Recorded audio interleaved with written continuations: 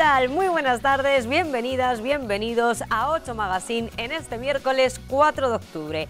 El sábado, Fresno de Río Tirón acogió la edición número 22 de la Fiesta del Cordero y el Lechazo una tradición en nuestra provincia y desde Asaja aprovecharon para reivindicar la importancia de este sector y, como no, también pedir mayor colaboración por parte de las administraciones.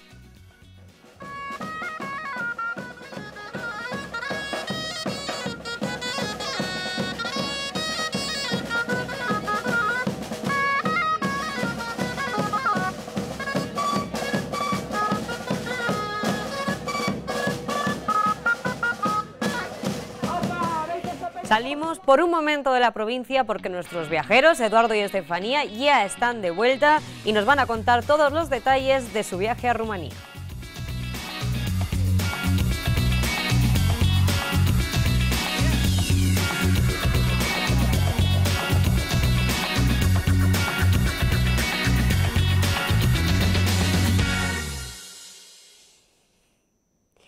Y el viernes fue la Noche Europea de los Investigadores, una ocasión para acercar el mundo de la ciencia a los ciudadanos. Pero no solamente fue la noche, porque este año, además de tener cuatro ubicaciones, dos de ellas fuera de la capital, también se disfrutó por el día. Vean.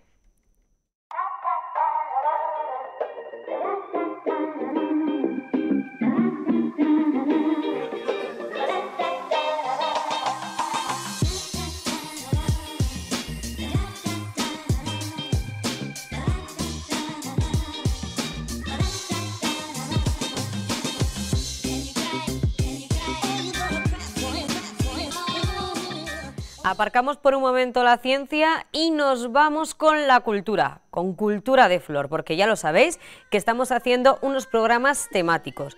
El país que han elegido David y Gerardo de Mateo es Japón.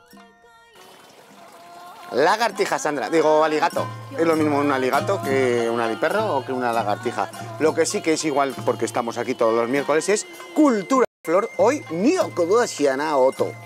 Oto, que ya sabes que es flor. De flor, de loto, de loto. Pues de loto, Bueno, de loto o de, o de, David, nos da igual. El caso es que prometido es deuda, yo ya me he puesto mis galas, tus galas japonesas. Muy bien, así me gusta. Viene ya integrado en el, en el tema del día. ¿Te imaginas que son letras chinas? Eh, pues, pues es probable. bueno, asiático. Asiático, vamos a decir asiático. Lo que vamos a hacer hoy es... Es japonés. Es japonés, Es muy no japonés, no, no es asiático. Es muy japonés. Y creo además que está súper de moda en mm. toda Europa. Sí, en, en Europa y en Norteamérica se ha puesto muy de moda. Bueno, a ver, los japoneses eh, nos llevan mucho, bueno, en muchos sentidos, pero bueno, en este sentido también. Ellos, esto del arte floral aquí eh, en Europa es de principios del siglo pasado. Y, ellos llevan 2000 años. Y llevan ya, efectivamente. Entonces, eh, bueno, pues nos llevan mucho y entonces esto es muy distinto a lo que vemos en, Europa, a cómo estamos acostumbrados a trabajar nosotros la flor. Ellos tienen otra filosofía completamente diferente del mundo natural. De hecho, eh, hemos hablado alguna vez de esos em, jardines... Los jardines zen... Muchos japoneses... Los, llevan los bonsáis, el tema de los bonsáis... Eh, el tema de los ikebanas, el tema de los kokedama, o sea, es que tienen un montón, infinidad de, cosas y de temas que podremos ir hablando eh, en programas eh, sucesivos, eh, de cómo ellos tienen ese respeto, sobre todo yo creo que la palabra es respeto, respeto por la naturaleza. yo siempre lo he dicho, los japoneses tienen una palabra que mm, ahora mismo no me acuerdo cuál es, pero tienen una palabra en japonés. Sí, será gariguato. Y es que cuando cortan una flor... Ah, eso lo has dicho, me lo has dicho alguna vez. Cuando piden perdón. Claro, cuando piden, cortan una flor, primero la, mm, la cortan siempre en agua dentro del agua. o sea, nunca, está, nunca tienen una flor fuera del agua. La tienen en el agua, la cambian de recipiente a otro agua y entonces cuando la van a cortar, la cortan dentro del agua y, dicen y piden perdón. Piden perdón a la flor porque la van a cortar. Entonces, el respeto por la naturaleza, por, bueno, pues por... por, por muchas... pero la cortan. Pero la cortan, sí. No, ellos lo que hacen es... Bueno, mira, primero, se hace en... Platos. Sí, bueno, en sitios cerámicos, en sitios como muy planos. Y utilizan una, técnica, esto ya vamos a hablar más a menudo de ello porque ahora eh, nosotros siempre os hemos dicho que eh, la esponja cada vez se utiliza Sí. menos y tal. Bueno, pues aquí utilizamos eh, a veces los ramajes y tal, que es una forma de hacerlo muy, muy original, que ya hablaremos un día de ello. Bueno, y como en el campo, ¿no? La- la- Claro, la sí, sí, efecti- efectivamente. Y ellos utilizan esto. Me estás dando tanta información en tan En poco, tan poco tiempo, que me estás volviendo loco. Sí. Primero no me has dicho ni lo- la palabra de lo que vamos a hacer hoy, que tiene una palabra. Ikebana. Ikebana. Ikebana, que significa flor viviente. Vale. O tienen otra forma de llamarlo, que es Kadu, que es camino de flores. Ah, el ¿esto camino de flores. Sí, eso pesa mucho. Es eh, plomo y acero. Eh, y es un, esto es un kenzan. Kenzan. Un kenzan, que es lo que, eh, lo que utilizan ellos para sujetar la flor. ¿Vale? Y la ponen en el medio. Entonces, Mira, que estamos aprendiendo hoy, me encanta. Sí, y sobre todo, a ver, lo que vamos a hacer, eh, si alguna persona, ya lo he dicho antes, si alguna persona nos está viendo que sepa hacer ikebanas, que nos perdone, porque seguramente Estamos aprendiendo. estamos aprendiendo y no, yo he ido a alguna, A algún curso, pero un tienes que curso hacer tal, muchos pero hay que hacer mucho más porque esto me imagino que, claro, eh, se tarda años en aprender y en ser. Es una forma de relajar. Eh, Por eso aquí, se ha puesto de moda claro, en Europa, yogas claro, en Europa se utiliza porque es una forma de relajarse, de aquí con el agua que estamos oyendo de fondo, con la- las flores. Date cuenta que se utilizan muy pocas flores, o sea, igual vamos a utilizar una rama, una hoja y una flor. O sea, se utiliza todo muy, muy, muy, muy poco. Eh, se hace, se triangula. Bueno, vamos a ir haciéndolo mientras vamos Sí, hablando. sí, porque yo que no si no se nos va el tiempo. No, no, y eh, es que no sé lo que es triangular, o sea... Mira, nosotros lo primero que hacen es echar el agua. El Pero agua. mucho, o sea, esto hay que hacerlo en el sitio donde se va a quedar. Claro. Porque esto ya no ¿Has se puede visto ya mover. que no se puede mover. No, pero el agua tiene que entrar en, el, en este, que es lo que va a hacer que... Ellos lo que hacen siempre es eh, pues intentar imitar la naturaleza. O sea, que sea todo como muy minimalista, es la palabra, Pero muy parecido a la realidad. muy parecida a la realidad, efectivamente. Entonces lo que van haciendo es pues ir, eh, esto lleva su proceso, pues tienes que pensar, tienes que fijarte mucho en, tienes que pasear. Ellos dicen que hay que pasear mucho, hay que ver fijarse. mucha naturaleza, efectivamente, para fijarse. Entonces, pues por ejemplo, es ir eligiendo ramas, eh, eligiendo ramas con formas. eh, bueno, pues al final estas ramas, por ejemplo, que son ahora frescas, pues doblan muy bien. Entonces, pues bueno, es ir haciendo eh, formas con la... Sobre todo, tri- ellos triangulan. Ahora te explico lo de triangular. Ellos van triangulando y van haciendo la forma... ¿Ves? Esto está absorbiendo Bosque, el agua. ya estoy viendo el Sí, bosque, ¿no? están, ellos, ellos está absorbiendo agua y entonces está, está viviendo. Hablan mucho con... O sea, claro, al estar regado esto vive. Esto vive, claro, esto vive más que, incluso vive más que una, que en una, que una esponja de las que hacemos aquí. ¿Ves? O sea, entonces esto al final te va relajando mucho, porque tú vas haciendo formas, vas viendo como las, las formas orgánicas de la naturaleza, como pues una hoja, eh, la hoja está en la parte de abajo, como la rama cae en la parte de arriba. Es Puede- que fíjate que me parece algo, a ver si me entiendes, si no, una me- un poco chorrada, pero es que Sí, es- me parece súper bonito. Es muy bonito, sí. A mí me encanta, ¿eh? A mí me, el O sea, fíjate, una rama y una hoja. Así. Es la sencillez, el respeto por la naturaleza, o sea... Bueno, el plato también es muy bonito, El plato es muy bonito. que eh, flores, pues mira, esto es una craspedia. Entonces, pues, yo no había visto nunca esto. la, la craspedia o No, el- el ikebana. ikebana.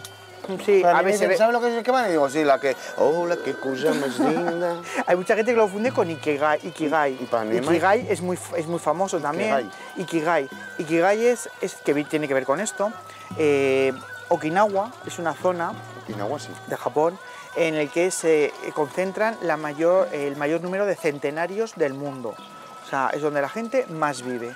Entonces ellos, eh, bueno, pues se ha demostrado que la, la- la forma de vivir, la, la alimentación, bueno, todo influye, pero hay una cosa que, ya, que llaman Ikigai, que es un poco, que va en estas lindes, y el Ikigai es a lo que vienes tú a este, a este mundo. Entonces, si yo, por ejemplo, he venido a este mundo y soy florista y amo lo que hago, mi Ikigai es ser florista, y según ellos, tengo que ser florista hasta el día que me muera. Ellos no tienen la palabra jubilación. Ellos trabajan en lo que, en lo que han venido a hacer. Yo tengo también Kigai, Es lo mío, pero tampoco me veo aquí con 90 años. No, pero tú, por a ti, ejemplo, no. David, dame otra planta. No, pero tú, pero a ti te gusta mucho cocinar. Sí, Entonces tu. Ikigai igual es cocinar. No, yo, Entonces, a mí tienes esto- que estar esto, pero igual tu Ikigai interior es cocinar y significa que hasta que te mueras tienes que estar cocinando y aprendiendo a cocinar y entonces es buscar no, no- o sea no tiene que ver con el trabajo económico Sí, sí, sí, remunerado sino con, con una con tu hobby tu hobby tienes que estar haciéndolo hasta el día que te mueras entonces ellos trabajan mucho esa filosofía que es el ikigai que se parece la palabra a lo de ikebana Te- Es que me parece precioso. Sí, la verdad es que es muy bueno. Es el, a mí los Ikebana, yo siempre tengo en el, en el salón, siempre suelo tener así como uno, porque me gusta mucho.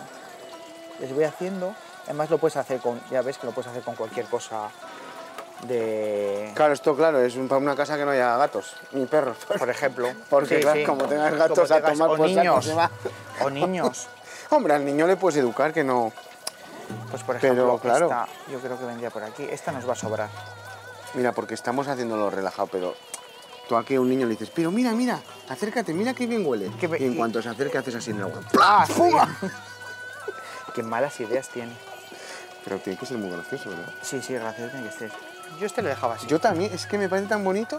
Pues esto es un- una, a ver, Ya. no es un ikebana profesional, pero bueno, es un ikebana o es una forma, vamos a hacer amateur, de hacer ikebana. Pues esto lleva mucho más procesos porque ellos tienen la ceremonia del té, tienen, la, o sea, tienen muchas cosas que les relaja, porque la ceremonia del té, ellos no se hacen un té como lo hacemos aquí, de calentar el microondas, sino que ellos, bueno, pues hacen una ceremonia del té que dura unos cuantos minutos, eh, se relajan, eh, hacen ikebanas para, eh, mientras toman el té.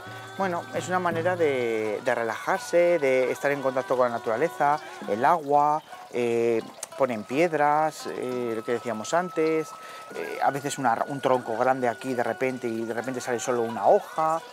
Bueno, es, ya haremos más, que Vale, hay muchas sí, formas sí. de hacerlos, en jarrones, en tal, pero bueno, para que Y la barato gente empiece... es.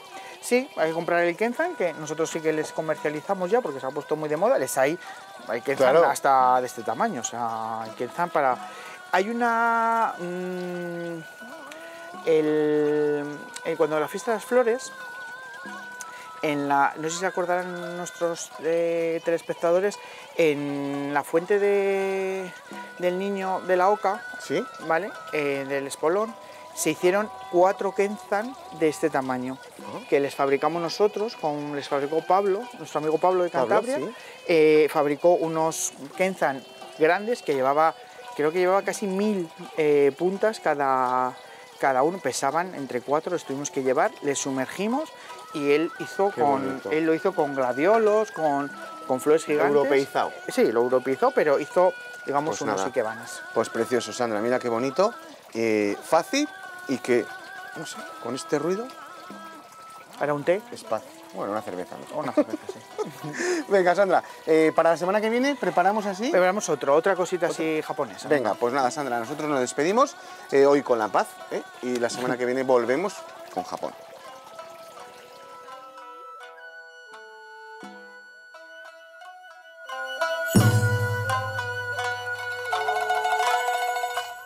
Muchas gracias a los dos. Y de una tradición japonesa nos vamos a una de Burgos, porque el sábado se celebró en Fresno de Río Tirón pues una tradición como es la fiesta del Cordero y el Lechazo, edición número 22, una ocasión que desde Asaja han aprovechado para reivindicar este sector y también pedir a las administraciones que echen una mano.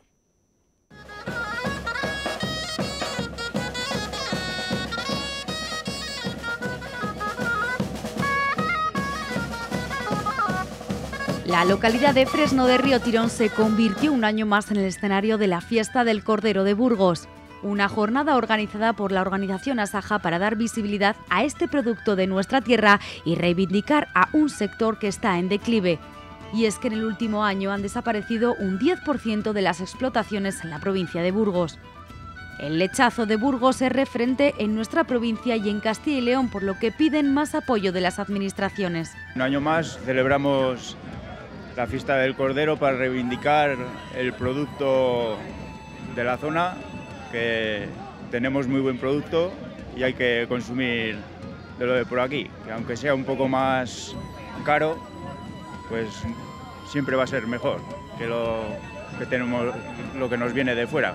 Creo que es importante, sobre todo a nivel eh, de pueblo, eh, de parte de todas las administraciones, eh, apoyar este tipo de eventos porque esto, sobre todo la ganadería, es la que fijamos, sobre todo población, a los pueblos. Y en esta época que tenemos tanta despoblación, hay que ayudar al ganadero sobre todo. Y estamos encantados desde Diputación de, de, estar en estos eventos y que cada día se hagan más eventos de estos. Y desde Diputación apoyaremos todo, todo lo que se haga en pro de que la gente eh, venga a los pueblos, nos conozca y, que se anime a, vivir en ellos. La gente se va haciendo mayor y gente joven no viene detrás.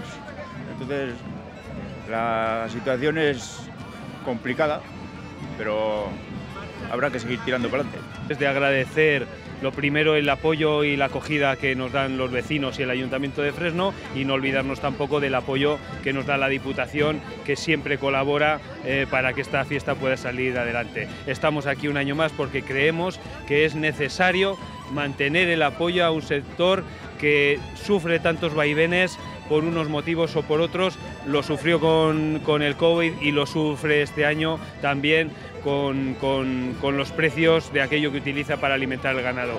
Estamos, hemos pasado un año especialmente duro, el sector primario, tanto la agricultura como la ganadería, y de ese año tan duro en la agricultura, pues repercute el encarecimiento de lo que el encarecimiento de los precios de lo que los ganaderos utilizan. Por eso creo que hay que reconocer y hay que valorar eh, este oficio, esta profesión, una profesión muy dura también, que requiere de mucha dedicación, que requiere de 365 días al año de trabajo.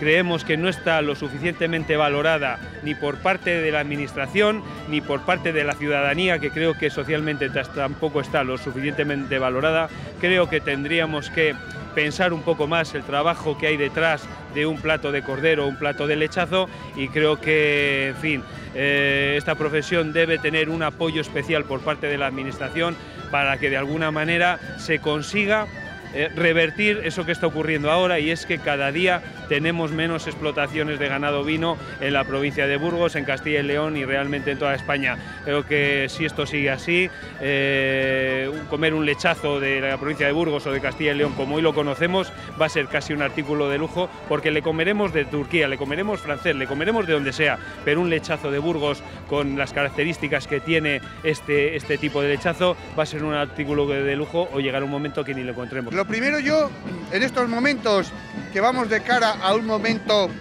de especial consumo como puede ser la Navidad, me dirigiría a los consumidores. Que disfruten de las celebraciones comiendo lo mejor.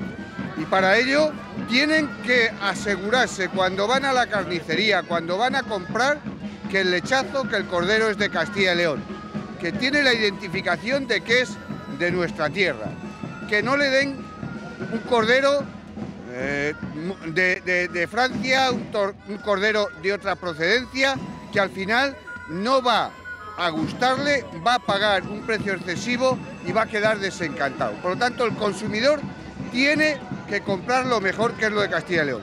Dos, las administraciones tienen que apoyar al sector, porque es un sector que tiene un trabajo todos los días del año, que es esclavo, que necesita eh, no solo una rentabilidad, sino unas condiciones sociales. Y le tiene que apoyar porque el sector ganadero cumple tres objetivos. El primero, alimentar a la sociedad. El segundo, mantener el medio rural. Y el tercero, es el mejor exponente en la limpieza y en el cuidado del medio ambiente. Por eso, cumpliendo esos objetivos, tiene que ser el apoyo prioritario, no como ocurre ahora, que en muchos casos, como puede ser el tema del lobo, el gobierno está priorizando más al lobo que al sector ganadero. ¿Qué ha hecho el gobierno también en un año catastrófico? Dar la mitad de ayudas en Castilla y León que en otras comunidades autónomas. ¿Qué hace la política agraria comunitaria? Poner pegas y reducir las ayudas. Por este camino no se va a buen pueblo y eso hace que las explotaciones cada vez sean menos, tengamos menos cabaña ganadera, tengamos menos producción y al final nuestro manjar, nuestro lechazo, nuestro cordero se acaba y será pues algo que solo se podrá aprovechar o solo se podrá consumir como sigamos así en eventos muy prioritarios y en restaurantes. Se acabará nuestro cordero tal y como nuestro lechazo, tal y como lo entendemos. Los vecinos de esta pequeña localidad tienen gran protagonismo y es que son ellos los que colaboran en todos los preparativos y participan en el concurso de elaboración gastronómica con este producto estrella. Pisar el corderito con pimiento, cebolla, el ajo y nada más. Simplemente así. ¿Os presentáis todos los años? Sí, yo todos los años, sí, todos los años. A ver, hay que hacer cazuelas, sé que no voy a ganar nunca, pero bueno, todos los años hacemos una cazuelita. ¿Cuántas horas lleva elaborar esta cazuela? Pues como dos horas por ahí. Dos horitas sí. sí. Pero bien. ¿Cómo está el precio del lechazo? ¿Cómo lo podrías valorar? Un poquito caro, pero bueno, es que, a ver, el lechazo es de aquí del pueblo, entonces siempre es mejor. Yo creo que es mucho mejor que si vamos a comprar al otro lado. Ya está a punto de, de que se desprenda el hueso de la carne con lo cual, una vez que esté desprendido, pues echamos ya las patatas. Los dejamos simplemente sin, con, el, con el calor ya que tiene, ya se hace la patata. Y entonces los ingredientes pues son los de siempre, los que mi abuela utilizaba, que era cebolla, ajo, pimiento, luego pues eso lo, lo bien y luego conjuntamente luego con la carne. luego echamos ya a nuestro gusto, claro, por supuesto. ¿Cuál es el éxito de un buen guiso? Que esté tranquilito aquí como veo y que haga pluf pluf, ¿no? Poco a poco. Tiempo, tiempo y paciencia. Es lo que requiere eh, el guiso este de tener mucha paciencia, que es la base. ¿eh? Porque si lo haces todo precipitadamente y, ir cada de vez en cuando eh, cada cosa por aparte. Por ejemplo, primero lo que es eh, voy a echar todos los condimentos, que es eso que se poche un poco, echar la carne y luego ya a gusto. Pero es echarlo eh, sal, pimienta, por supuesto, y nada más, y carne de pimiento. ¿Qué significa esta fiesta para los vecinos de aquí? Pues mm, creo que es muy importante. La pena, pues el, éxito que va teniendo año tras año porque esto de, llevamos igual al pie de unos 12 o 15 años por ahí, porque antes esta fiesta gastronómica el cordero se hacía en otras partes, que aquí han tenido buena acogida y se está haciendo últimamente aquí en Fresno de Retirón. Esto es muy sencillo, solo va el cordero y con un poco de sal, no tiene más, ¿eh? va asado con sarmientos al sarmiento, lo que se llama tradicionalmente cordero al pincho. El fuego se está haciendo ya y cuando estén las ascuas los pones y en 3-4 minutos está hecho. Hay que ir dándole vueltas para que se haga y nada más, y al momento está hecho. Pero no tiene ningún misterio. Estamos haciendo aquí un cordero, pero que no podemos dar los ingredientes que echamos porque eso es secreto profesional. ¿Pero estáis haciendo el mismo del año pasado? No, distinto. ¿Habéis cambiado algún ingrediente? Hemos cambiado un poco el sistema. Cebolla, laurel, una hojita de laurel, un poco de pimienta, un poquito de todo que no quite sabor al cordero. Un poquito de todo, pero no mucho, cantidad, de nada. Primero entonces... Cebolla, primero la cebolla, perejil, un poco pimentón, un poco pimienta, la patata. ¿Y estáis terminando ya echando la patata? Sí, sí. Se nos ocurrió hacer un horno casero con unas chapas y unos ladrillos sin pegar ni nada, colocados, y con leña. Y así nos ha salido la idea. Y parece que se ha salido bien. ¿Cuánto tiempo ha estado y qué es lo que hay que echarle o no hay que echarle, dejarle ahí? El cordero son pocas cosas. El ajo, el agua y poco más. Y el asarle pensábamos que nos iba a costar más, pero se ha asado rapidito y bien. Hecho guisado por aquí también, Luego hay guisado. Hay dos tipos de guisado. Allí tenemos otra. Este es más tradicional, que es tomate, pimiento, el cordero, cebolla y poco más también, no sé qué más decir. Vino, vino blanco. Y allí tenemos otra con más especias. Que te la enseñe el Masterchef que sabe mejor lo que ha echado que yo. A ver, mira a ver, dile un poco lo que has echado. Espera, espera. Hola, aquí estamos en el Cordero. ¿Qué diferencias tiene con respecto a otros? Ah, pues yo lo he hecho a mi manera. Pues he echado muchas especias, que es lo que me gusta, y ya está. Y esperemos que salga bueno. Está muy especiado. Sí, sí, sí. Tiene buena pinta. La fiesta del Cordero, un día para reclamar, para poner en valor el medio rural y para compartir una jornada de fiesta.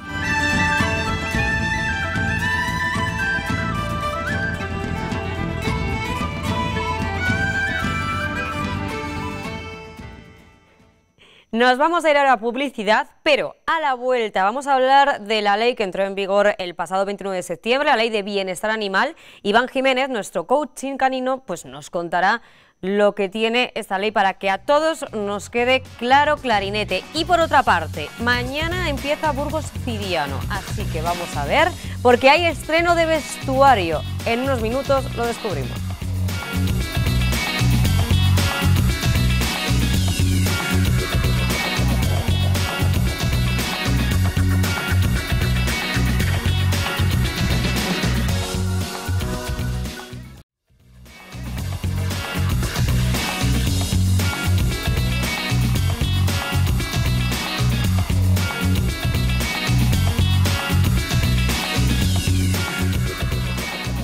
Seguimos en 8 Magazine. Lo decía antes, que empieza Burgos Cidiano, que no es mañana, que empieza hoy. Esta tarde es la primera mesa redonda la que van a tratar. El CID no fue un mercenario. Pero entre las novedades que trae esta edición está el vestuario, porque hay unos personajes muy, muy conocidos que van a lucir como nunca. Así que nos vamos hasta su casa mismamente, hasta la casa de los gigantillos. Gerardo de Mateo, muy buenas tardes. Muy buenas tardes, Sandra. Como veis, estoy en la casa de los gigantillos y creo que además tienes buenas noticias que dar a todo el mundo que nos está viendo, ¿verdad, Sandra? Noticias. No, pues que estamos aquí porque estamos de enhorabuena y de estreno. Ah, porque os sí, vamos a sí, enseñar- claro, digo, uy, si lo había dicho. así. Por supuesto, Eso. porque van a estrenar unos personajes muy, muy conocidos, los mejores atuendos. Que no son ellos, que no son los gigantillos, eh, pero lo serán seguramente, sino, como veis aquí, ¡tarán!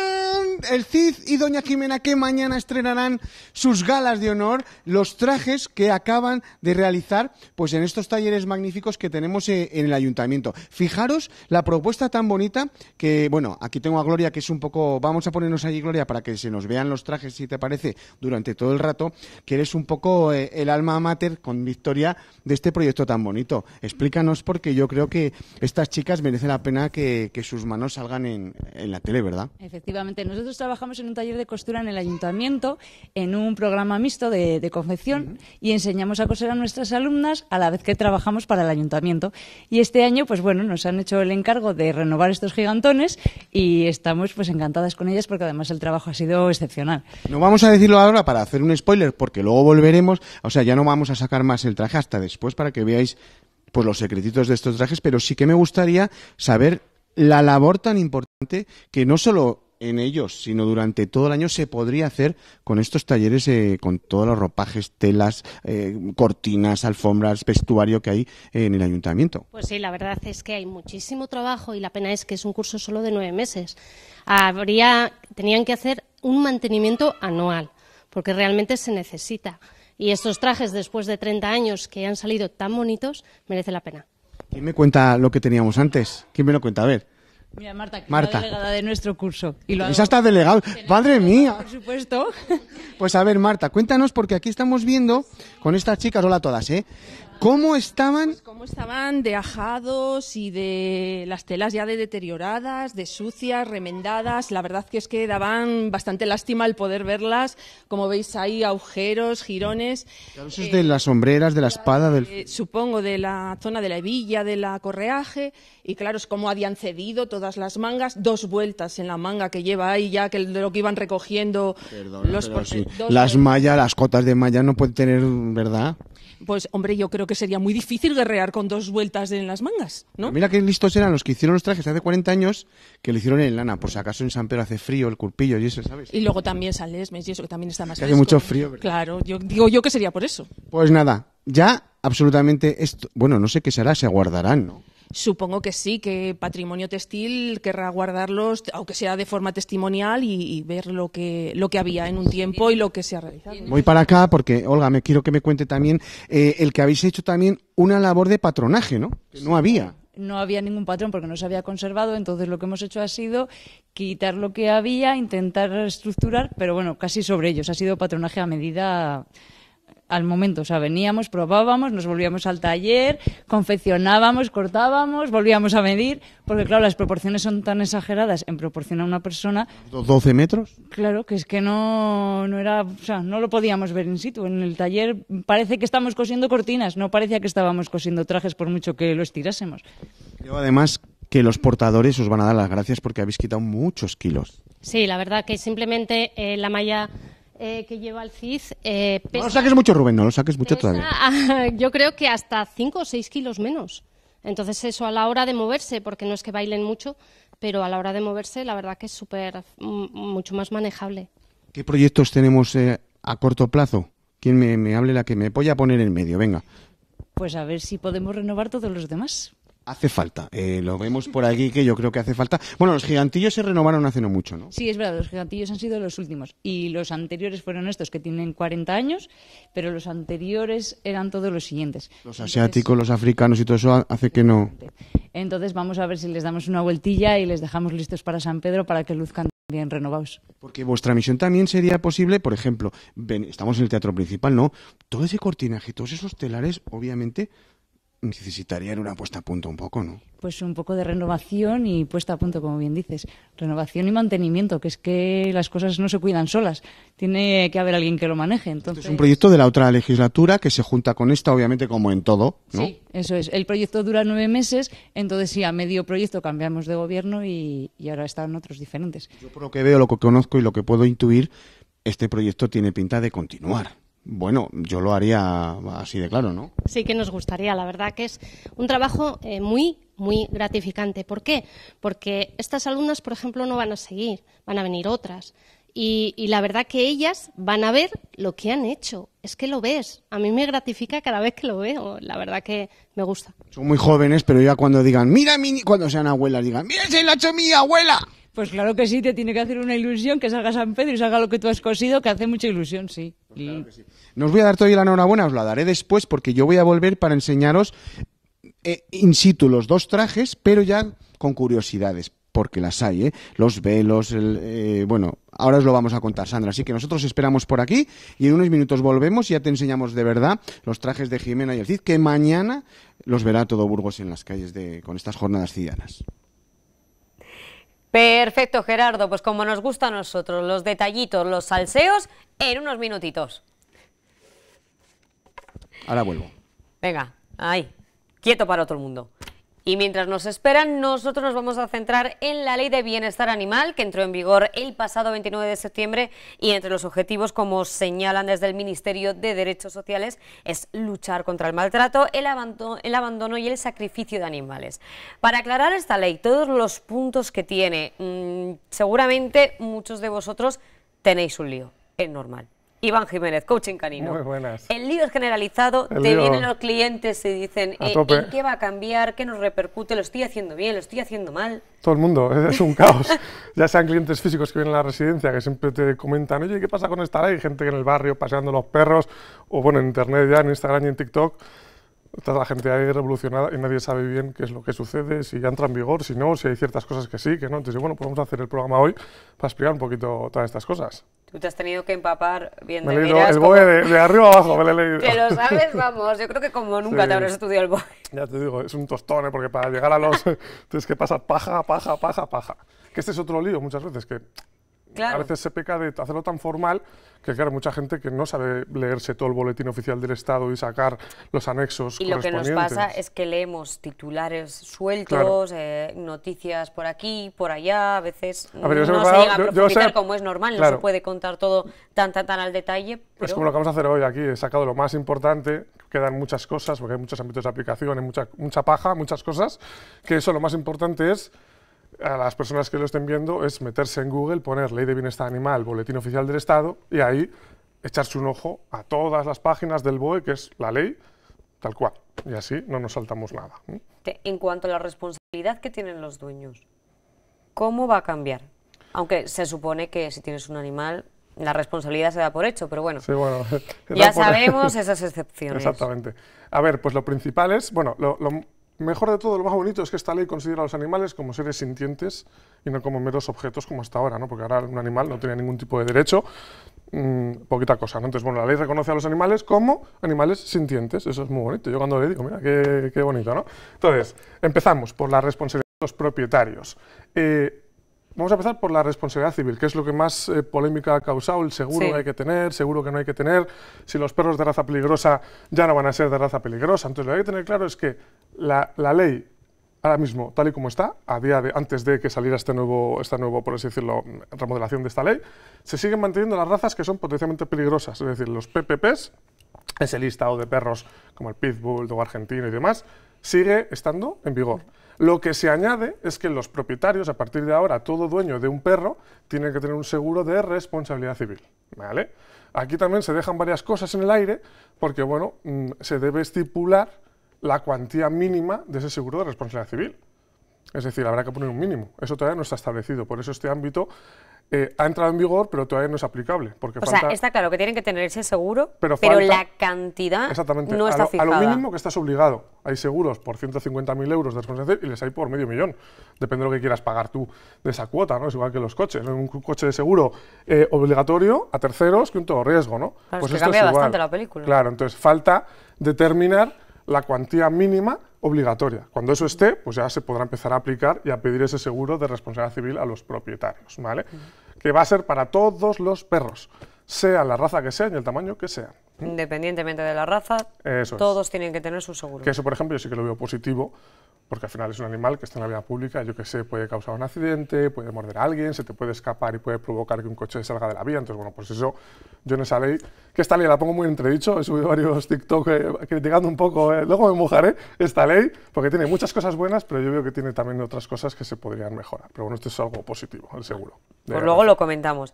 Hay prohibición de herramientas de manejo que pueden causar lesiones al animal. Sí, Fíjate que aquí hecho, muchas veces Siempre estoy con ello. hemos hablado de ello. Siempre hemos hablado de los collares de castigo y esto, es lo más, esto para mí es lo más importante de todo. Voy a hacer un llamamiento. La gente, si os vais por la calle, eh, si vais fijándoos los perros que os encontráis, veremos, como es algo muy habitual todavía a día de hoy, ver un perro paseando y que lleve un collar de púas, un collar de estrangulamiento, de tela o de eslabones. Ya ni queda decir que el collar electrónico, que les venden incluso en tiendas de, de deporte o de caza, los vendían para, para que la gente se lo pusiera al perro cuando desobedecía. Y esos collares yo los veo todos los días. ¿vale? Entonces, esto sí que es algo muy positivo, que se hayan prohibido este tipo de herramientas. Os he puesto por ahí un pantallazo de los collares eh, para que la gente tenga un... Porque la gente dice es un collar de electrostático y muchas veces la gente no sabe Sí. lo que es. Vale, entonces, aquí tenemos el material que a día de hoy está prohibido utilizar. De manera particular, de manera profesional, estos materiales a partir de ahora ya no se pueden utilizar Este con es que ningún me perro. acuerdo cuando lo trajiste. Este es contundente, ¿eh? Pues este, favor, es, qué este es tipiquísimo. Vamos, siete de cada diez pastores alemanes que se ven por la calle van con ese... Iban, o bueno, van todavía con ese tipo de collar. Va, pero vamos, que ahora está prohibido. Exactamente, tenemos el collar de púas, ¿vale? Collar de estrangulamiento, ¿vale? Que es un collar estrangulador que también hemos sacado aquí otras, en otras ocasiones. Este es el mismo collar, pero en vez de, de eslabones metálicos, de nylon.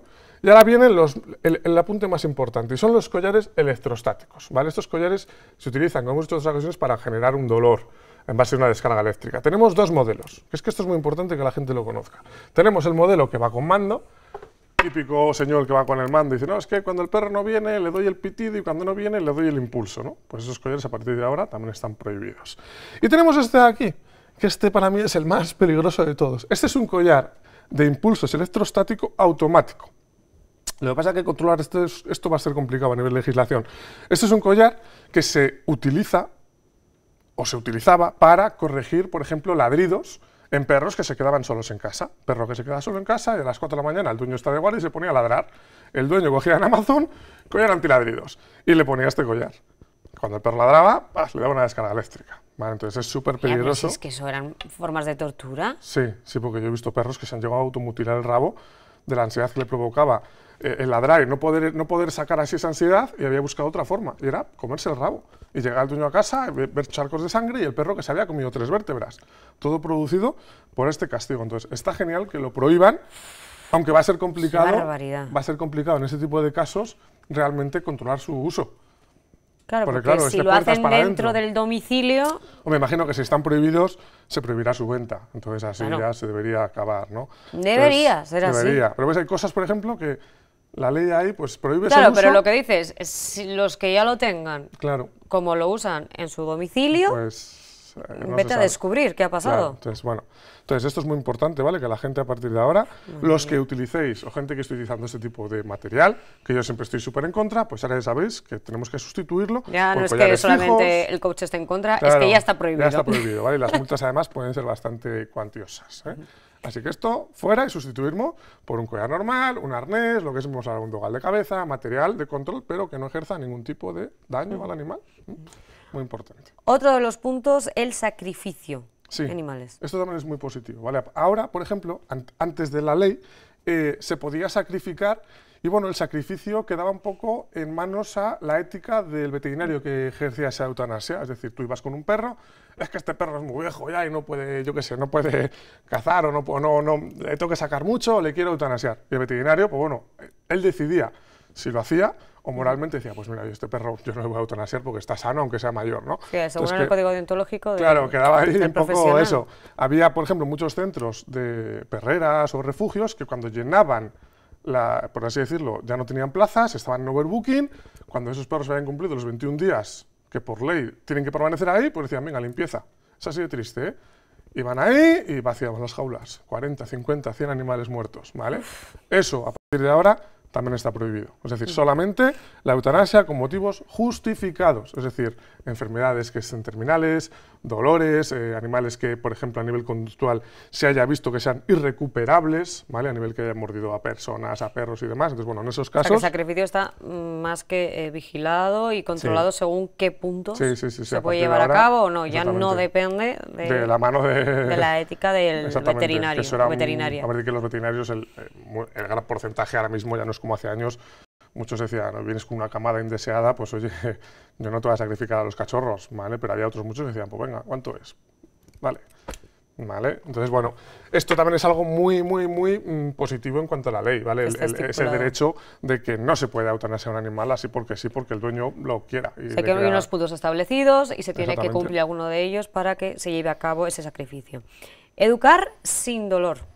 volvemos otra vez, esto está anexado un poquito relacionado con el tema los de los collares, que siempre collares. estamos ahí, ¿vale?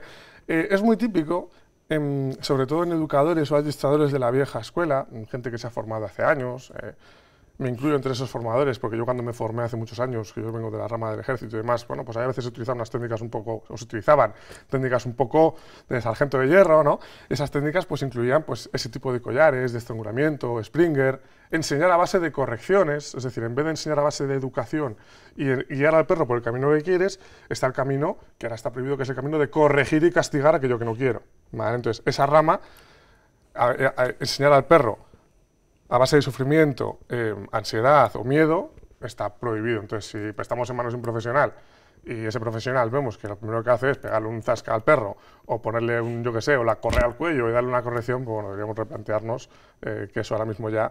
eh, estuviera prohibido o no, yo buscaría otra, otra alternativa. ¿vale? desde luego. Pero ahora mismo... No es la mejor opción enseñar, enseñar y con educar así. dolor, con castigo. Sí, bueno, pues eh, es algo bastante, ha sido algo bastante típico, porque muchas veces cuando te falta formación y experiencia, optas por la rama rápida, que es el castigo. Yo me incluyo, yo cuando empecé hace muchos años, pues no sabía, pues les ponía un collar de estrangulamiento al perro, por ejemplo, para que no tirase de la correa y te trabajabas con él, pues a tope. Claro, pero ahora que se ha avanzado, que ahora que ya te vas formando, eso es. vas cogiendo experiencia, formación y, y demás, Pero pues las eso, emociones del animal, Claro. eh, cómo actúan, cómo al piensan. final todo eso te hace saber trabajar y conseguir esos objetivos de otra manera, siempre mirando por el bienestar del perro. ¿vale? Entonces esto también es algo muy importante ¿eh? para los adiestradores y educadores, que ya el castigo no se puede aplicar así como así. Y con esta nueva ley de bienestar animal, seguro que te lo han preguntado millones de veces, ¿qué pasa con el transporte público? ¿Pueden viajar? ¿No pueden viajar?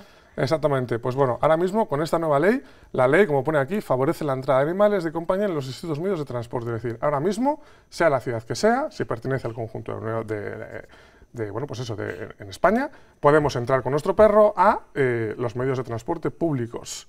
Aquí falta, por ejemplo, también eh, determinar por ejemplo, en Madrid y así, los perros pueden viajar en el metro y así, pero o lo han de hacer en unos vagones específicos o tienen que llevar bozal, por ejemplo, si, Y si eso todavía no está estipulado, ¿cómo debe ser? Yo no lo he visto.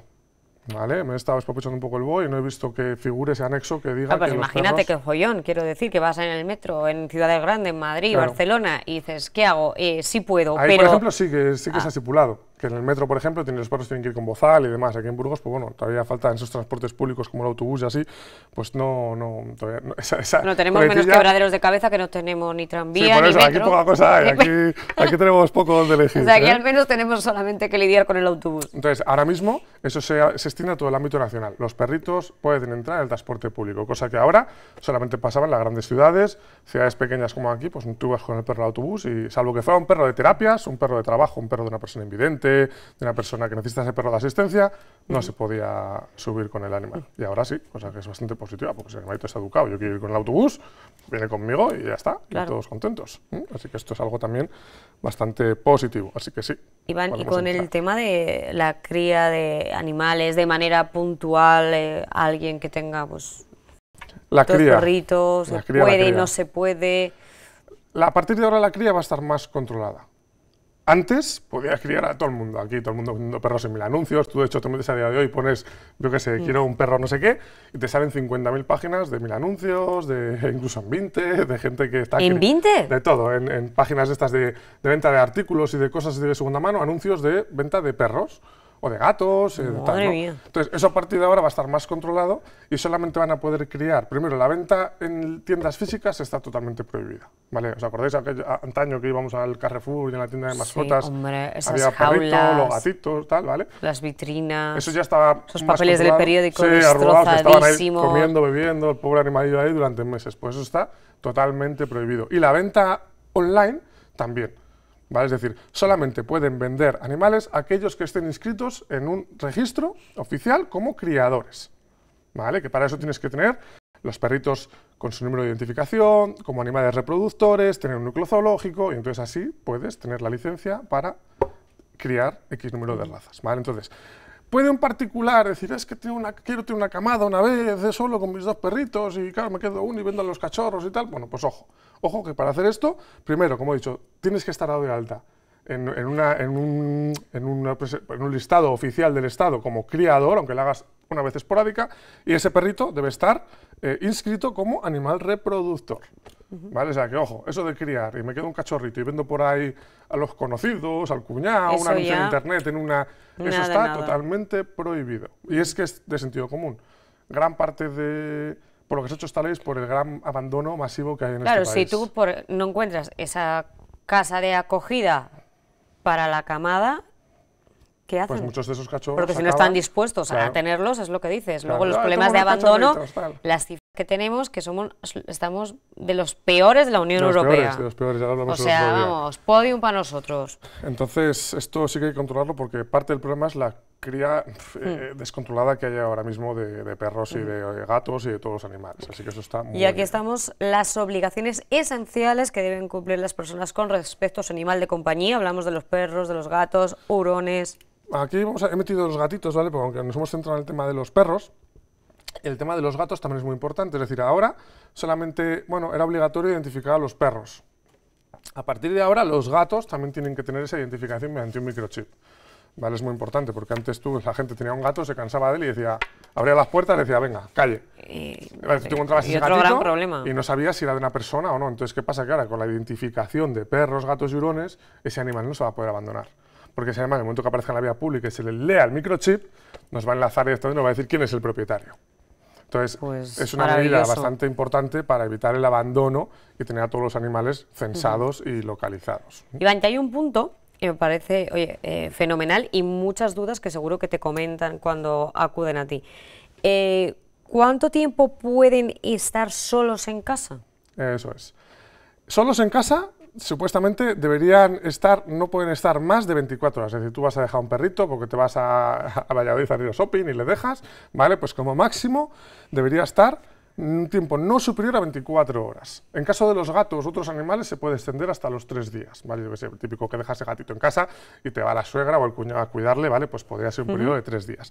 Pero en perros, este plazo no podrá ser superior a las 24 horas consecutivas. Esto se amplía a pisos, inciso muy importante, a fincas, porque yo no es la primera persona que conozco que tiene un perro en una finca y va una vez a la semana o cada 10 días a, poner, a llenar O sea, la con que esté tolva. en la finca, eh, al aire libre, por así decirlo, con su caseta, su tal, que tiene para salir, entrar... eh, No puede estar. no tiempo, puede estar. No puede estar, ¿vale?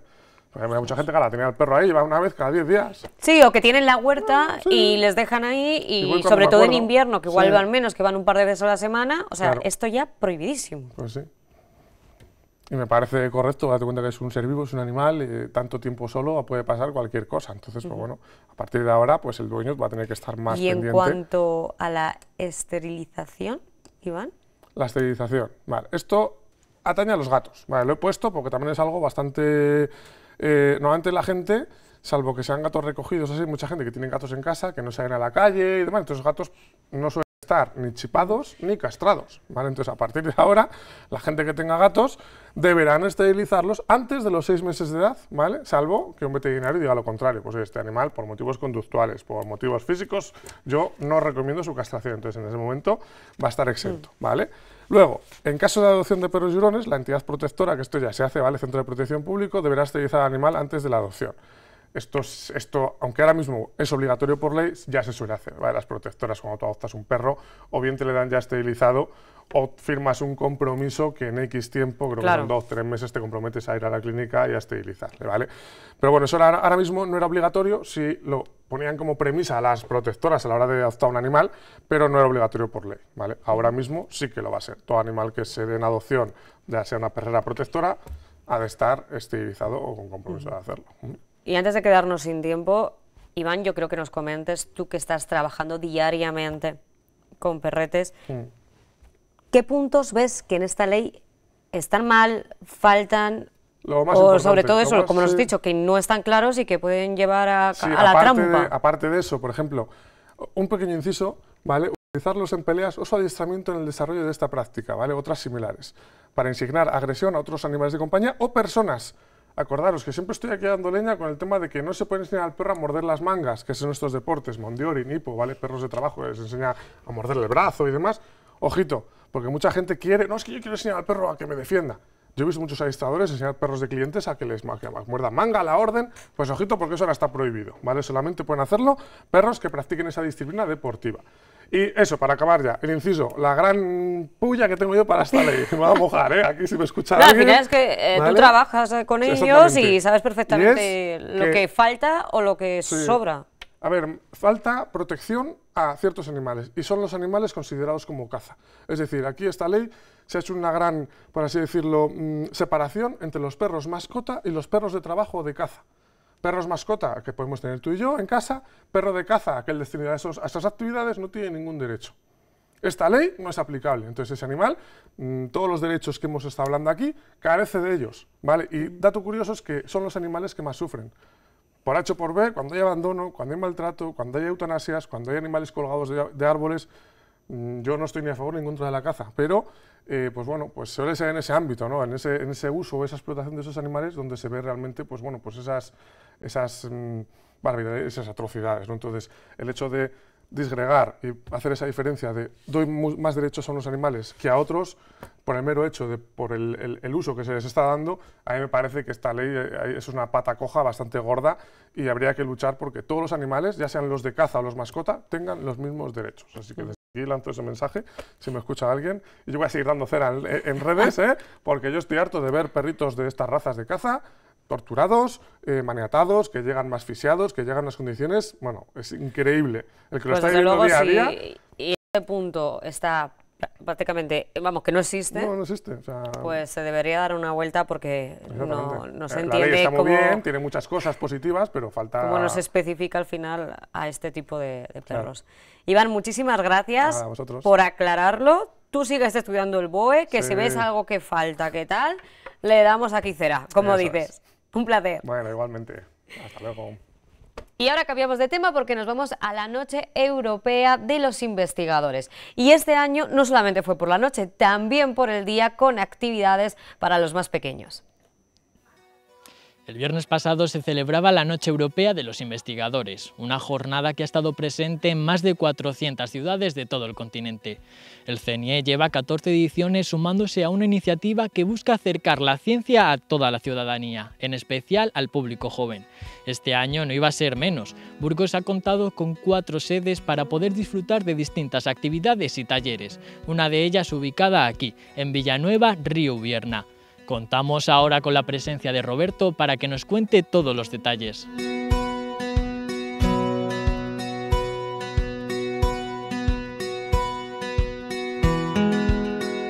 Roberto, vamos a hablar de la Noche Europea de los Investigadores, ¿no? Sí, sí, efectivamente, que va a tener lugar esta tarde. De hecho, ya los, eh, los menos está teniendo lugar con los niños de los colegios de alrededor, de, concretamente del Colegio de Quintanadeñas y de Santibáñez Zarzaguda. ¿Qué supone acercar la ciencia a un entorno rural? Bueno, para nosotros sí es importante. Somos un pueblo pequeñito, con nuestra limitación, pero tenemos la suerte de contar con investigadores aquí de, prestigio y que nos, eh, nos acercan un poco las cosas que normalmente se hacen en Burgos, pues también las queremos tener cerca y que lleguen a otro tipo de, público. ¿no?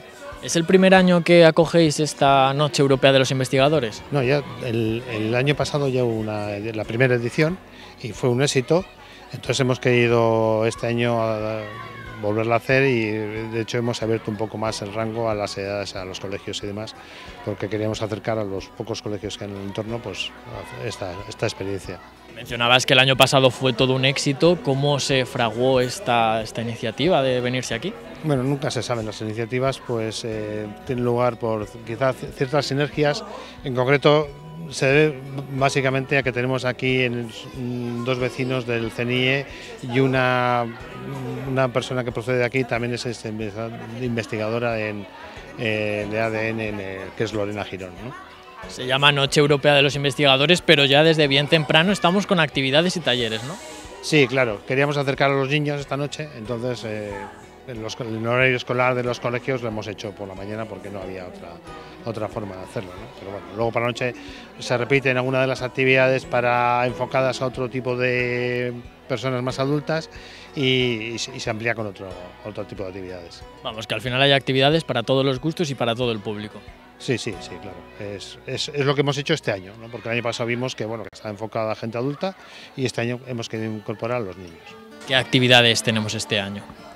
Pues este año, como hemos visto esta mañana, se están desarrollando un taller de extracción de ADN eh, y, luego el taller de Ratoncito Pérez, que es una explicación, eh, que es un programa europeo, internacional, mejor dicho, de, bueno, de que, eh, explicar qué se hace con los dientes, la importancia que tienen los dientes para poder datar y poder ver un poco las distintas acciones a, nivel arqueológico. ¿no?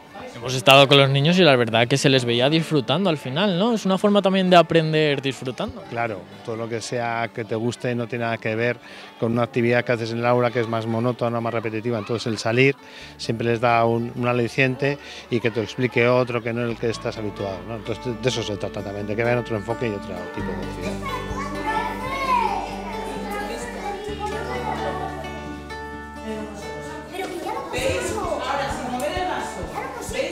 María Elena, en tu caso eres profesora, ¿de qué colegio vienes? Eh, de Santibáñez Zarzaguda. ¿Qué te parece una iniciativa como esta de la Noche Europea de los Investigadores? Pues me parece que es súper interesante porque estos niños, algunos de ellos son un científico en potencia y no lo saben. Pero con esto que nos han estado enseñando y estas actividades tan motivadoras, seguro que más de uno sale siendo un científico.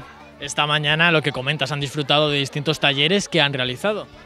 Pues bueno, en el primer taller han estado viendo un poco la composición de los dientes, los niños con un, mezclando diferentes productos, han visto cómo eh, aparece el ADN, súper interesante, y luego han podido observar en un microscopio eh, cómo los dientes nos pueden indicar eh, la edad que tiene la persona, si pertenece a un hombre, a una mujer, y bueno, ha estado genial, la verdad.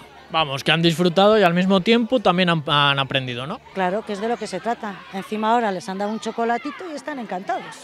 Pues nada, te dejamos que vayas tú también a disfrutar del chocolate. Pues muchas gracias. a una cosa que a dar antes. ¿Cuántos dientes tenemos nosotros? 32. Vale, pero torcido. Al margen de eso. Muy buenas, Mario. En este caso hemos hecho un taller de dientes contigo, ¿no? Aquí. Sí, sí, un taller donde los niños han podido descubrir cómo son los dientes por fuera, cómo son los dientes por dentro y además han podido comparar con dientes de tigres, dientes de sable, con dientes de atapuerca y dientes de humanos modernos. ¿Les ha gustado a los niños este taller? Yo creo que cuando les das cosas que tocar, que trastear, le das un microscopio, una lupa, ven cosas que nunca han visto, lo disfrutan y al menos lo que me han dado, me ha dado la impresión, les he visto disfrutar, me han hecho muchas preguntas también, por lo tanto creo que ha habido una buena interacción y espero que hayan salido con mucho más conocimiento. Ya está. Clavado, clavado, ya, ya me ha pillado la práctica. ¿Cómo? Una iniciativa como Antes esta de eso, la ¿vale? Noche Europea de los Investigadores. casi un millón de años. Pues a mí me parece que es esencial, ten en cuenta que al final nosotros los científicos nos beneficiamos muchas veces de fondos públicos y tenemos la obligación y el deber, aunque para mí es más una obligación, de devolver el conocimiento que generamos en un mundo, digamos, eh, que solo entendemos los que nos dedicamos a, a la ciencia, transformar, traducir ese lenguaje técnico en un lenguaje llano y devolver a la sociedad el conocimiento que generamos. Esa parte es esencial y que se haga en toda Europa y especialmente también en la España rural ahora mismo me parece que es básico y yo estoy encantado. Dirías entonces que es una buena forma de acercar la ciencia ¿no? al final a la ciudadanía. Exacto, es una forma que es clave para que la gente pueda conocer lo que hace, lo que hacemos en la ciudad, en sus ciudades y de ese modo valorar nuestro trabajo dentro de todo el complejo de la sociedad. ¿Sabéis por qué es importante esas líneas de crecimiento? Porque sabemos, con esto, contando las líneas, igual que los árboles, sabemos el tiempo de formación de los dientes. ¿Y sabéis por qué es importante eso? Muy buenas, Sara. ¿Qué te han parecido estas actividades a las que habéis venido hoy? Pues muy divertidas y he aprendido bastante. ¿Cuál es el taller que más te ha gustado? El de los dientes. Ahora, si no me equivoco, también vais a dibujar, ¿no? Sí. ¿Tú tienes claro cuál va a ser el dibujo que hagas? ¿No los puedes adelantar o es sorpresa? Voy a intentar hacer un par de células y cosas así. Alejandro, nos decías antes que tú querías hablar, ¿no? Sí. ¿Qué te han parecido los talleres de esta mañana? Eh, muy chulos porque enseñan muchas cosas, sobre todo el, el ADN y los dientes. Vamos, que has aprendido, pero también al mismo tiempo has disfrutado, ¿no? Sí, la verdad es que sí, bastante. ¿Cuál de los dos talleres te ha gustado más? El de los dientes, porque hay que mirar, tal, y, y eso. ¿Lo habías hecho antes? No, la verdad es que no. Y me ha gustado mucho, la verdad. ¿A ti te gusta la ciencia o...? Sí, y me encanta, la verdad. Yo oh, soy un gran fan de la ciencia. A mí me ha parecido más interesante lo del ADN, porque es como te, se te saca el ADN, lo mojas en jabón con alcohol y luego pues lo he tenido que jabonar yo la boca, pero mm, con agua con sal también, pues es que un poco asqueroso la verdad. Has sido tú el que has puesto el ADN. Sí. ¿Qué te ha parecido la experiencia? Bien, en verdad ha sido divertida, asquerosa. ¿A ti te gusta la ciencia? A ver, no soy un gran fan de la ciencia, pero me gusta. Es Y- interesante. Y talleres como estos también ayuda a conocerla un poco más, ¿no? Sí, la verdad que sí. Porque igual que cuando tiras los platos hay que quitar la grasa, también tenemos que Así, ya lo escuchamos. ¿ves? Lo que nos dice Lorena que hay que hacer esto. A ver qué bonito. ¡Lo cogemos! Buenas, Lorena. Ay, lo vas a- que los niños han disfrutado con, con el taller, ¿no? Que has preparado. Eh, sí, la verdad que ha habido muy buena acogida, ha sido un taller muy bonito porque además eh, son muy pocos pasos y es muy cortito y los resultados son muy buenos y se ven muy claramente. Entonces, a los niños ver resultados así de rápido les parece muy apasionante y ven de cerca cómo funciona la ciencia en el laboratorio. ¿En qué consistía este taller? Pues exactamente consistía en hacer una extracción de ADN a partir de su propia saliva.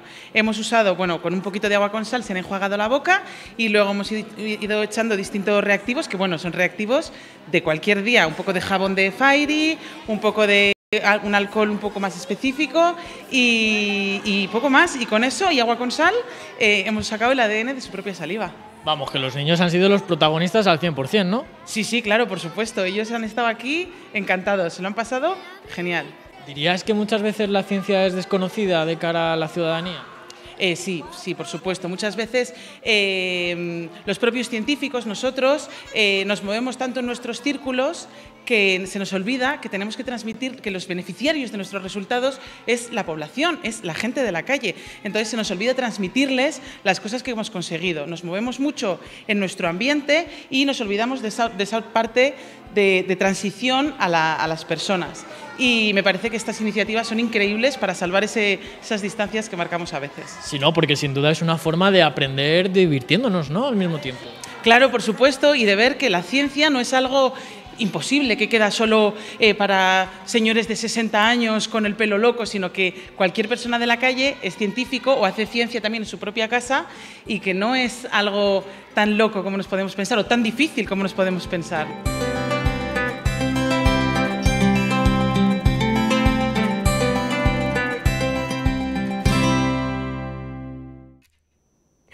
Nos vamos a publicidad y a la vuelta nos espera Gerardo de Mateo que está en la Casa de los Gigantillos para descubrir el nuevo vestuario. Unos minutos y estamos de vuelta.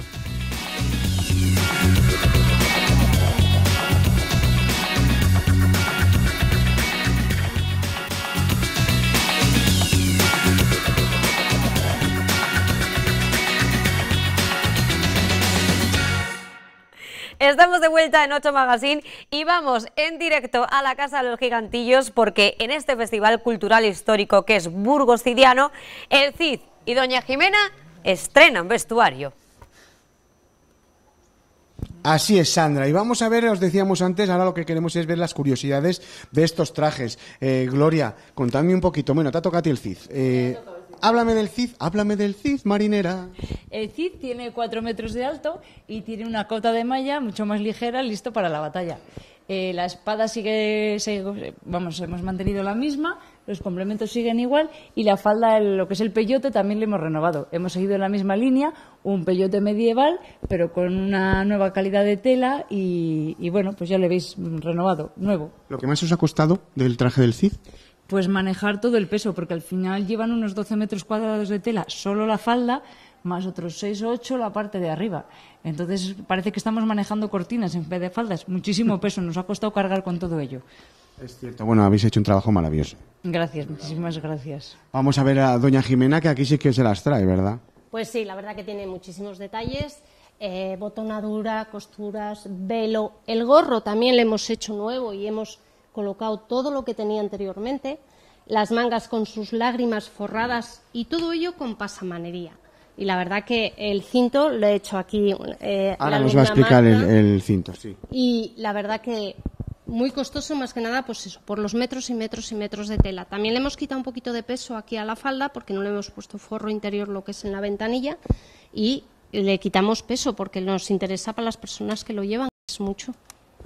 El tema del, del gorro supongo que es lo más complicado, ¿no? Ese vuelo del velo. Pues la verdad que el velo está enganchado al gorro y luego el gorro es metal por dentro, interiormente, y la verdad que con la habilidad que tienen las, las alumnas, eh, un trabajo en equipo, se ha logrado y, y se ha hecho fenomenal porque de arriba del gorro tiene unos triángulos hechos que bajan para abajo, o sea, no se ve desde aquí, pero la verdad que es un trabajo muy bonito. Los que tienen casa en las donde pasean los gigantones, calle Vitoria, la cabalgata y eso, ahí lo ven todo claro. Eje, ahí verán que es la tela nueva porque antes estaba muy decolorada. Fíjate, Sandra, mira el cinturón, que parece una bobada, pero es también nuevo.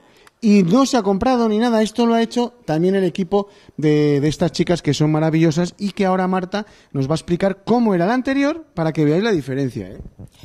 Sí, este era el cinto que llevaban antes, que como veis está muy, muy deteriorado, el color todo totalmente, eh, mucho más sencillo, no, no tenía nudos intrincados.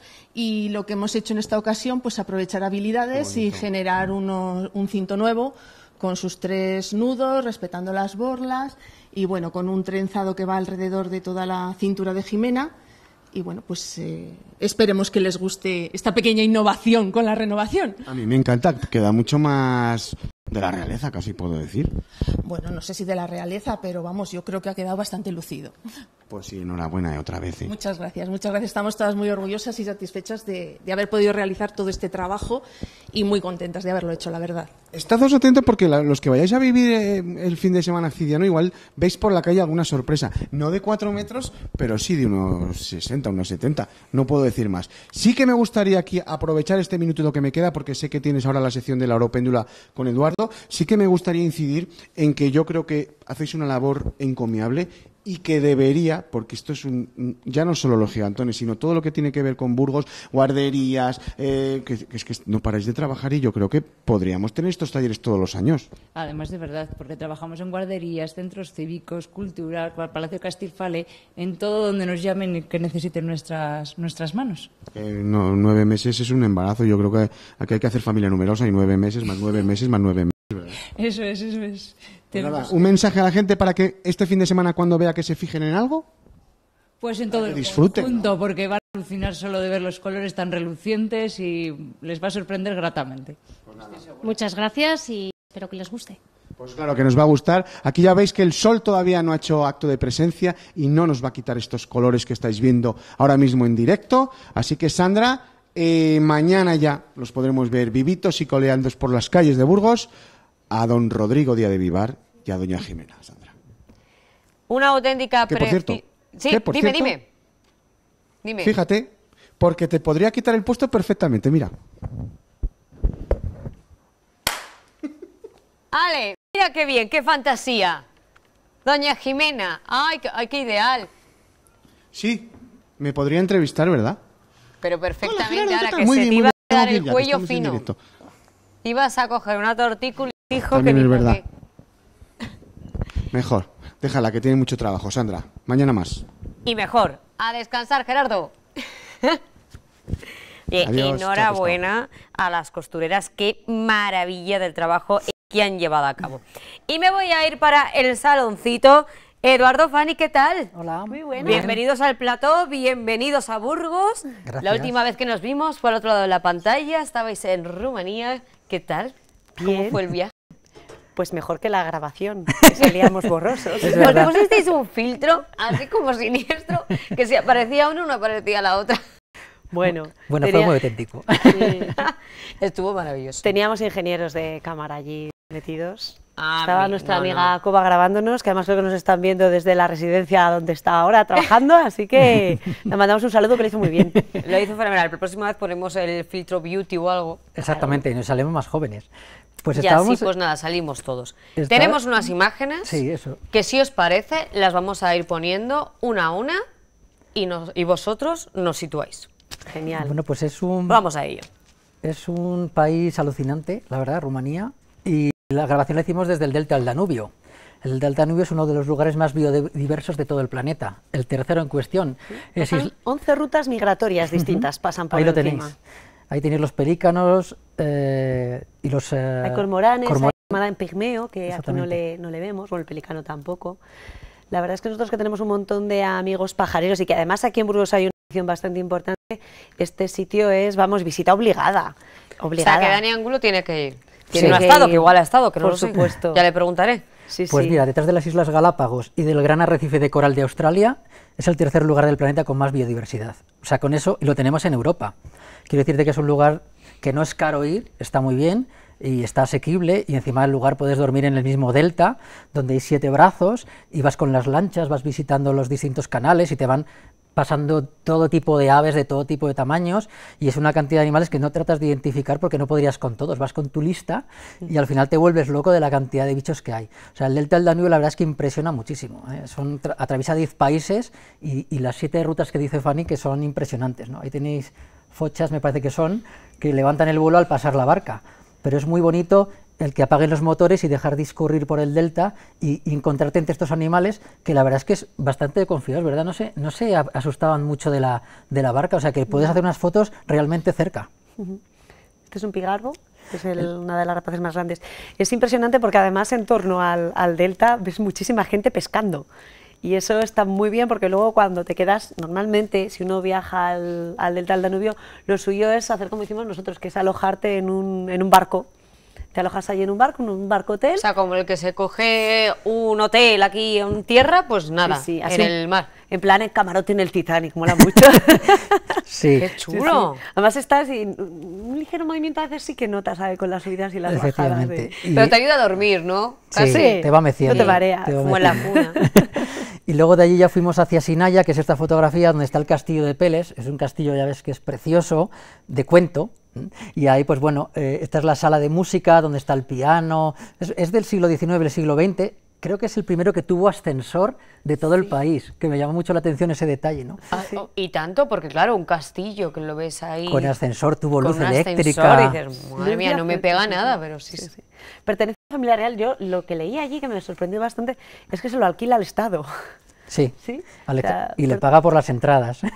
que la- o sea, tienen ahí un negocio montado alucinante. Bien distinto de este otro que estáis viendo ahí.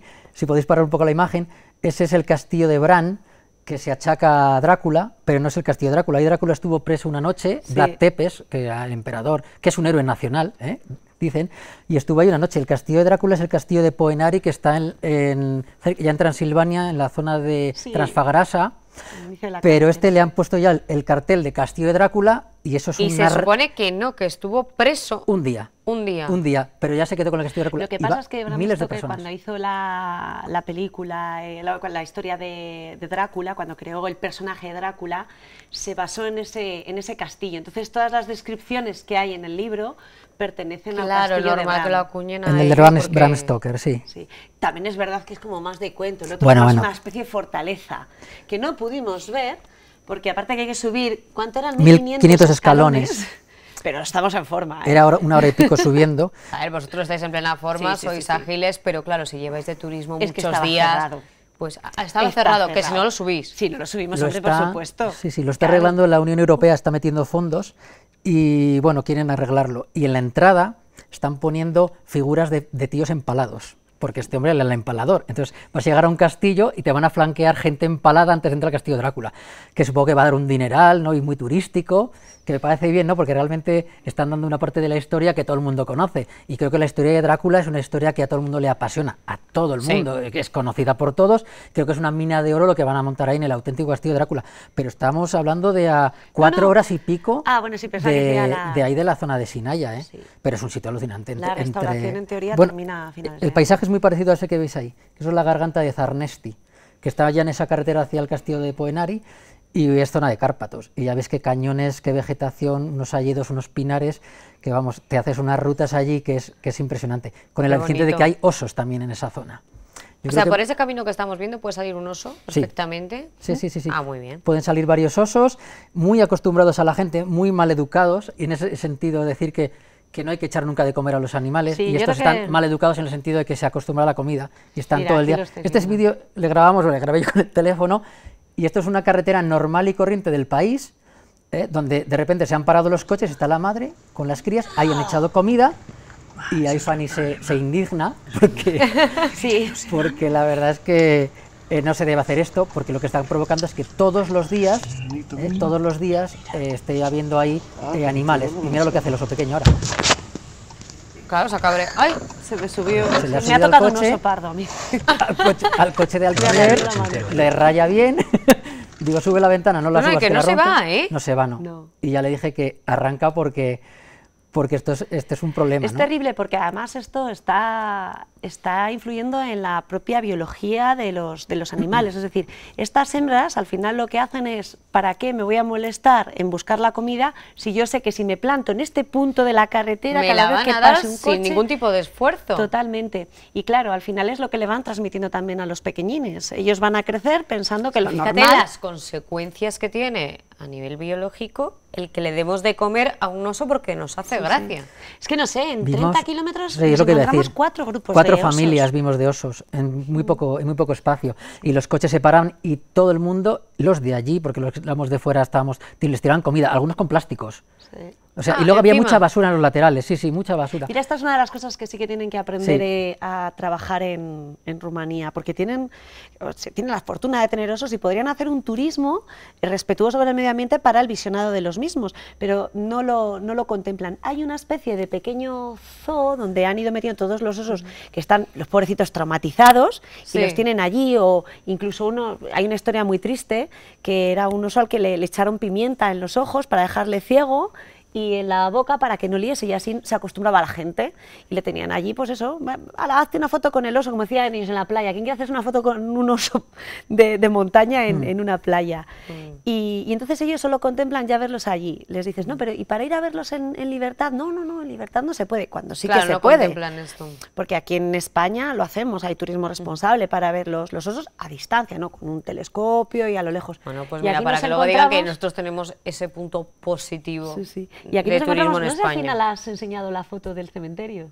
Eh, sí, yo creo que está por ahí. Está por ahí. Bueno, de todas maneras, eh, lo que vimos antes era Brasov, que es una ciudad, esa es Ah, la, la trampa Que nos queda jaula. muy poquito, chicos, pero Sí, sí, nada, para la trampa jaula en el cementerio donde ponen basura dentro y entra, se ve que hay algún oso ahí peligroso o algo y los atrapan ahí dentro en esa, en esa jaula y en, ¿Ah, esa, sí? en ese lugar. Esto es una ciudad, o sea, es como si fuera el cementerio de San José, pues ahí delante Sí, de la como que te entrada, ponen ahí una jaula. Una jaula para atrapar los osos que entran a los basureros.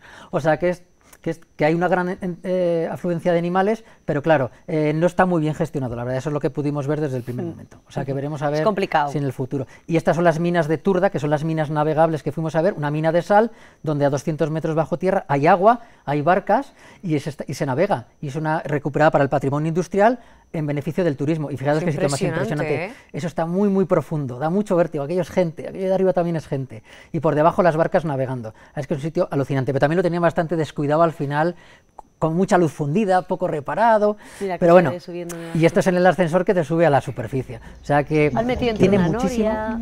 pistas de pádel, o sea, le han dado un Súper sentido un poco curioso, ¿eh? La Es verdad que impresionante. Mira que siempre dicen que Rumanía es la gran desconocida, que aquí Hay que ir, ¿eh?